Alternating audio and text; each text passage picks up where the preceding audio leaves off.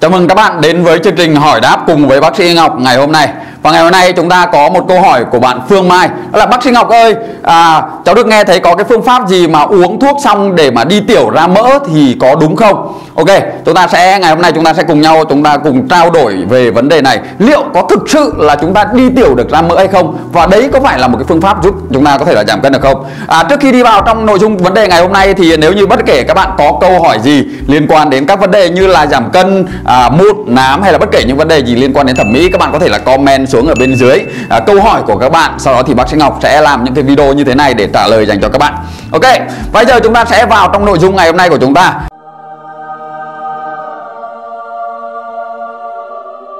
Liệu có cái sản phẩm nào mà sau khi mà chúng ta uống xong rồi chúng ta đi tiểu ra mỡ hay không? Xin trả lời là không. Bởi vì sao ạ? Bởi vì chúng ta cái trong cơ thể chúng ta nó sẽ có cái bộ phận nếu như mà để mà lọc được máu à, để mà khi mà chúng ta đi tiểu ra mỡ ấy thì chứng tỏ là cái cơ quan lọc máu chúng ta đang có vấn đề.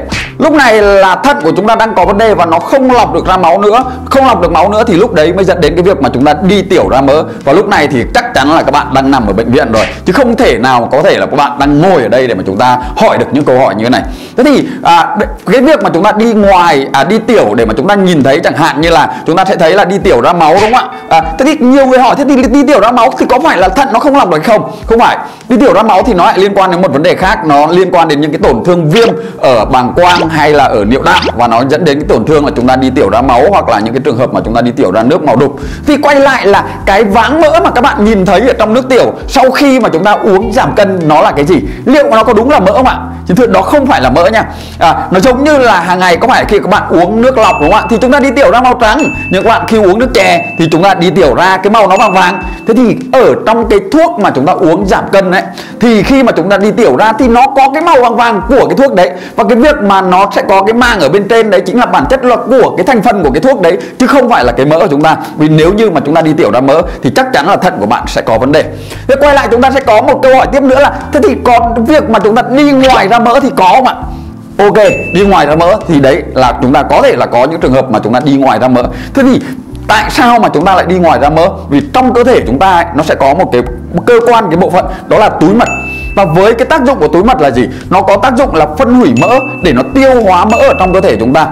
Thế thì khi mà chúng ta ăn các đồ ăn vào trong cơ thể, ví dụ như chúng ta ăn thịt mỡ, đúng không ạ? Thì lúc này túi mật này sẽ có cái nhiệm vụ là tiết ra để tiêu hóa cái mỡ đấy, để mà chuyển nó thành những cái chất dinh dưỡng trong cơ thể. Nhưng mà nếu như mà cái túi mật của chúng ta bị tổn thương, hoặc là một vì một cái lý do gì đấy chúng ta có thể là túi mật tổn thương hoặc là à, chúng ta có sử dụng một số những cái sản phẩm để mà bọc cái màng dạ dày lại hạn chế cái việc mà túi mật nó tiếp xúc với cái mỡ đấy. Thì lúc đấy cái mỡ đấy nó sẽ không được tiêu hóa nữa và nó sẽ được đào thải ra ngoài qua cái đường phân chúng ta. Và chúng ta sẽ thấy có cái dấu hiệu váng mỡ ở trong phân chúng ta. Thì đấy là một trong những cái mà liên quan đến cái việc mà chúng ta đi ngoài ra mỡ. Nhưng mà thường khi mà đi ngoài ra mỡ ấy, thì nó có nhưng mà nó chính là các tình trạng bệnh lý. Nên là ở đây chúng ta sẽ quay lại là sẽ không có chuyện mà chúng ta đi tiểu ra mỡ để mà chúng ta giảm cân. Mà cái cái việc mà chúng ta uống thuốc đấy ấy, nó chỉ là cái cái hình ảnh của cái cái cái màu của cái nước do cái thuốc đấy chúng ta uống giống như là chúng ta à, uống nước chè thì đi ra nước tiểu màu vàng còn uống nước lọc thì chúng ta à, đi nước tiểu màu trắng thì đấy chính là cái câu trả lời của mình dành cho các bạn. Thế thì quay lại mà các bạn mà muốn giảm cân đấy thì nó sẽ phải là năng lượng nó sẽ phải mất cái mỡ nó sẽ phải mất đi đâu? Chứ không có chuyện mà chúng ta đào thải qua đường mỡ à, qua đường nước tiểu hay là đào thải qua những cái đường mà chúng ta đi vệ sinh. Thế thì cái mỡ đấy nó sẽ mất đi đâu? Mỡ đấy nó sẽ mất qua quá trình mà chúng ta luyện tập. Chúng ta luyện tập thì nó sẽ tiêu hao năng lượng tất cả những cái hoạt động hàng ngày này của chúng ta, nó sẽ làm cho mỡ nó sẽ bị tiêu hao đi, nó sẽ chuyển hóa thành năng lượng để nó sẽ hoạt động. Và lúc đấy thì dẫn đến cái tình trạng mà chúng ta sẽ giảm được cân, chứ không chuyện là nó sẽ đi ra ngoài như thế. Cái thứ hai nữa là sẽ có một số những cái phương pháp mà người ta tác động vào trong những tế bào mỡ đấy. Có thể là người ta dùng cái phương pháp là người ta tiêm một cái sản phẩm mà nó làm cho màng tế bào mỡ nó vỡ ra, sau đó thì bạch cầu đến ăn dần ăn dần và nó sẽ tiêu cái mỡ đấy đi. Có những phương pháp khác nữa như người ta sẽ dùng công nghệ. Một số những cái công nghệ như là công nghệ quang đông hủy mỡ chẳng hạn, thì người ta sẽ dùng một cái nhiệt độ rất là lạnh, người ta tác động vào trong cái mỡ đấy và khi mà nhiệt độ nó có thể đạt xuống âm 10 độ C thì nó làm cho tế bào mỡ đây nó sẽ chết đi. Nhưng mà nó chết, nó chỉ nằm ở đấy thôi nó chỉ nằm ở trong cái vùng bụng chúng ta hay là nằm ở vùng bắp tay của chúng ta. Và sau đó thì khi mà cái quá trình cơ thể chúng ta nó sẽ có hệ thống đại thực bào, chính là các tế bào máu của chúng ta. Nó sẽ đến nó ăn dần ăn dần, những tế bào mỡ nó sẽ bị chết đi. Và đấy chính là cái cách để mà tế bào mỡ nó sẽ bị mất đi ra ngoài cơ thể chúng ta.